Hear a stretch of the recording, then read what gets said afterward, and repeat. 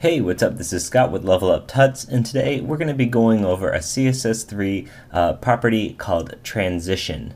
And transition is something that's really cool. It can be used in all sorts of different ways to create many different types of effects. So before we get going with transition, I'm just going to tell you that you can use it with any version of Chrome as long as you have the WebKit prefix. Uh, it goes back Firefox all the way to version 4 with the Moz prefix. Uh, it doesn't work with any version of IE until 10, which is really unfortunate. Uh, and then Safari, it goes all the way back to 3.1 with WebKit, Opera 10.5 with the O. Um, and then pretty much iOS, Android. Uh, so let's check it out here and see exactly what we're going to do with it. What transition does is it allows you to change properties, let's say on a hover, like sort of like you normally would. Let's say, you know, when we hover over this, it adds a um, an underline to this link. Uh, but let's let's do something a little bit more drastic. See this white background here that has the uh, the border radius on it, we're going to add that to be, let's say, a different color. We're going to say it's going to turn, it's going to turn um, to a dark gray, well, a lightish gray. Let's check it out here, and let's go to our CSS. And in fact, the color gray that the background is is a 666, so I actually want to have it uh, disappear. Well, let's have it disappear to start, and then on hover, it's going to show up. So let's go to where that border radius is that we have. And it's this tutnav list item. And instead of the background that we're giving it, I'm going to give it a background of, uh, well, I'm going to give this a background of 666. So now let's come back to our page. You can see uh, there's no background. It's just the same gray. It's the same color, so it's matching, right? So now on hover, we're going to do something different. We're going to do um, tut nav and then the list item, and we're going to hover. And on hover, we're going to give it a background uh, color of white. I'm actually going to just have this be background color as well. And I might semicolon here, so let's check out this page. So now when you hover over these, this white shows up. Okay, well that's a little drastic. Uh, it's a little shocking to see that white come in. What if we want to have this like ramped up and wants to be a little bit smoother? Well, we can use CSS transition. And to do that, I've grabbed some code from css3please.com, uh, just like we had done before. I'm going to paste it in here. It includes all the brow uh, browser prefixes for you. And this is what the transition looks like for CSS3.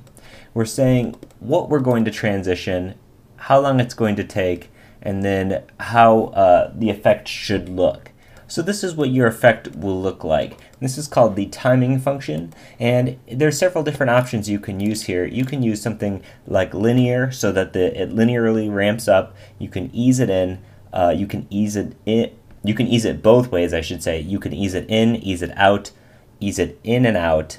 Um, and what that does is a slow start and a slow end.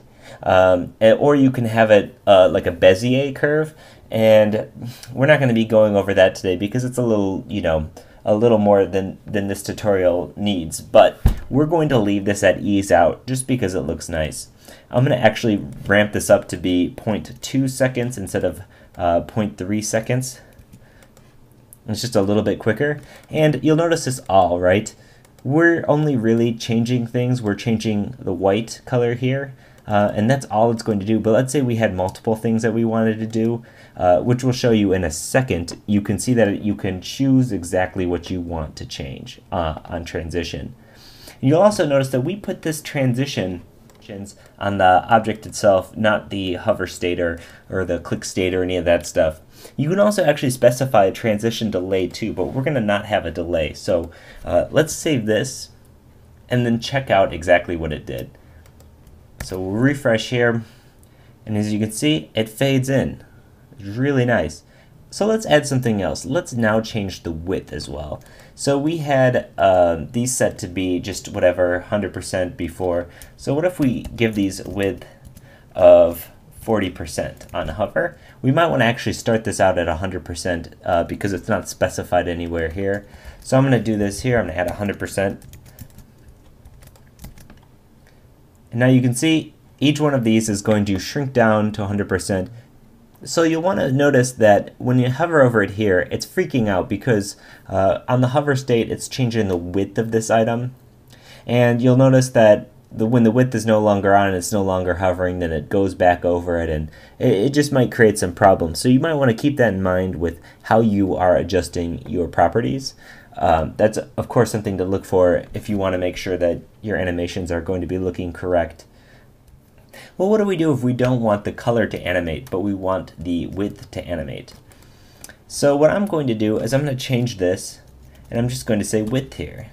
I'm going to save it, and now let's refresh our page. And you'll notice the, uh, the width is changing on hover, but the background color is no longer fading in. So you can set up different transitions for different items. Okay, well let's say we want to add a transition on something else. We want to add a transition as well onto the uh, uh, color as well, but we want it to be completely different.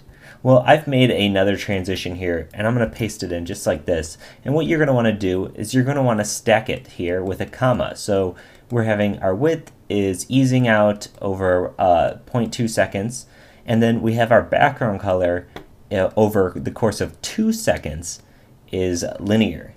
So let's save this. Let's go to our page here, and let's see exactly what that's doing. So you can see now that the color is fading in linearly over the course of two seconds, fading out over the course of two seconds as well, while the other width is going at the 0.2 seconds. So let's put a delay on one of these. Let's put a delay on this width here. In fact, I'm just going to put a two second delay and let's go back here, refresh and see what's going to happen. Waits two seconds and then shrinks. One, two, shrink. One, two, shrink. Cool. So this is a really interesting result because it's not going to shrink unless you hold it for more than two seconds. So this is the delay. And to and, and use the delay, it's really just adding a second value after the end here. So keep in mind you can use transition on almost anything. You can transition the position. Uh, you can tran so if you have it like a top position set at zero and then top set at 40, it's going to travel that distance. You can use it on padding, margin, border, any of this stuff, and it's going to be really cool as long as you you know don't ruin the usability of your site and you can keep things really effective. So like one course is maybe sometimes people put this transition with a, a fade to the change of color on their anchor link sometimes, as long as it's a quick enough fade or as long as it works with your site. In fact, I'm using it uh, quite a bit on my site. If we go to my site here, scotttolinski.com, you can see that I have a uh, transition here on hover on this main image. Uh, I have it on this border too. I'm adding padding to a uh, a border bottom of these anchor links and that padding is increasing and decreasing, which is how they are shooting up like this. So transition is something that can be used to add some really nice effects to your site. As always, this is Scott with Level Up Tuts. If you have any questions, leave a comment in the video or hit us up at Twitter. Uh, we're also now on Facebook too, so check us out with there. We have a link at the Level Up Tuts YouTube channel. Thanks for watching.